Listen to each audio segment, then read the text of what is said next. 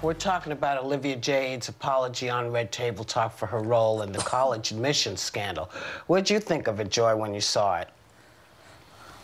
Well, you know, Whoopi, we know that white privilege is everywhere. I mean, Kellyanne Conway, who was just deplorable for the past four years, is now getting a multi-million dollar book deal. The situation from the Jersey Shore after his stint in jail went right back to the Jersey Shore show. Um, Martha Stewart got her gig back. She's now setting tables everywhere. So, I mean, not that I resent it, it's just that that's the way it goes. And um, what I feel like is uh, I understand my own white privilege. I always have. I've been. I just think about things like that all the time, you know. And I was a school teacher. Mm -hmm. Let's remember that for a minute, because I don't think that kids right. in this country are learning our history.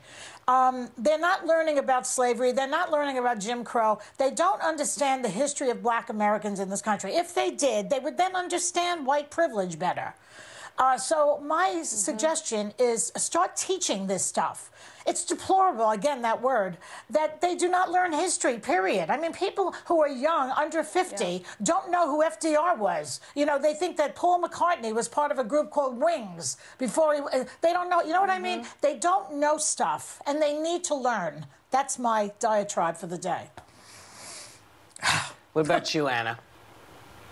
Well, I'd rather spend my allotted time talking about that tiny little wonderful hat on top of your head than talking about Olive Jade or whomever these people are. Look, I think I, I really have no interest in talking about uh, this entitled brat and her uh, enabling uh, parents. They're going to be okay.